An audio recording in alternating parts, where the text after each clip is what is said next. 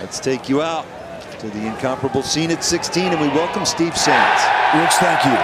Is there any place in golf you would rather be today, Saturday in Scottsdale? Right here, amongst the crazies. As Kurt said, only 129 yards today. We're going to see close ones. How about that from Anirban Lahiri? This is Lahiri's first visit here. How about a Saturday birdie for Anirban? How about it? It got loud at the Presidents Cup for Anirban and the international team over in South Korea, but thinking it's a little louder here and go ahead and follow Daniel Berger's lead and chuck it into the crowd. Anirban having a good time. Why wouldn't you?